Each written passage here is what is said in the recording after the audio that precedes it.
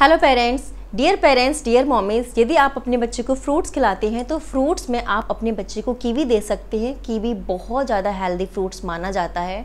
और जब बहुत ज़्यादा वायरल फैला होता है जब बच्चे को फीवर है या डेंगू है आ, ये सारी बीमारियाँ बहुत कॉमन हैं और आपको जब भी सीज़न चेंज होती हैं जब भी मौसम बदलता है तो डेंगू मलेरिया फीवर ये सारी चीज़ें बहुत बच्चे को अटैक करती हैं और बच्चे जल्दी जल्दी बीमार हो जाते हैं बड़े भी बीमार हो जाते हैं। तो ऐसे कंडीशन में आप अपने बच्चे को कीवी खिला सकते सकते हैं, बच्चे को लंच में दे सकते हैं, बच्चे को दोपहर के समय आप कट करके दे सकते हैं। कीवी का आप जूस ना देकर कीवी का फल आप अपने बच्चे को खिलाइए। इसमें काफ़ी अच्छी मात्रा में फाइबर होते हैं, जो कि बच्चे के पेट के लिए हेल्दी रहता है। बच्चे का जो डाइजेस्टिव सिस्टम है, वो अच्छा रहता है। बहुत सारे फाइटो न्यूट्रिय इसमें पाए जाते हैं। तो हर तरीके से ये अच्छा रहता है। अगर आपके बच्चे के प्लेटलेट्स गिर जाते हैं फीवर ऐसा होता है, जब फीवर बढ़ता है, डेंगू है, डेंगू में फीवर आता है, और तो हमारी प्लेटलेट्स बहुत जल्दी जल्दी डाउन होने लग जाते हैं। सेम बच्चे के साथ भी ऐसा होता है। तब आप ऐसी सिचुएशन में बच्चे को कीवी खिला सकते हैं।